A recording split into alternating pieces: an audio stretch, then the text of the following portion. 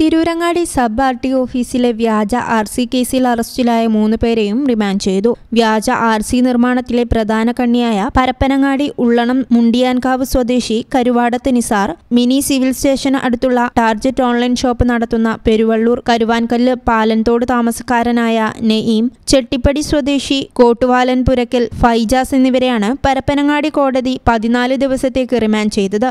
മുഖ്യപ്രതി നിസാറിന്റെ സഹായികളാണ് മറ്റു രണ്ടുപേരും. നിസാറിനെ ഇയാളുടെ വീട്ടുപരിസരത്തു നിന്നുമാണ് പോലീസ് പിടികൂടിയത്. ഇയാളിൽ നിന്നും വാഹനം പിടിച്ചെടുത്തു. ഇയാളുടെ മൊഴി പ്രകാരമാണ് നെയ്മിനെയും ഫൈജാസിനെയും അറസ്റ്റ് ചെയ്തത്. നെയ്മിന്റെ ചെമ്മാട്ടെയും ഫൈജാസിന്റെ ചെട്ടിപ്പടിയിലെയും കടകൾ പോലീസ് അടച്ചുപൂട്ടി. ഇവർ ഉപയോഗിച്ച രണ്ട് കമ്പ്യൂട്ടറുകളുടെ ഹാർഡ് ഡിസ്കുകളും സ്കാനറുകളും പ്രിന്ററുകളും മറ്റു രേഖകളും മറ്റു ഉപകരണങ്ങളും പിടിച്ചെടുത്തു.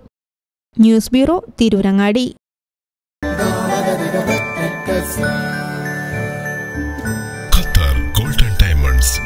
Calicut road Valanchery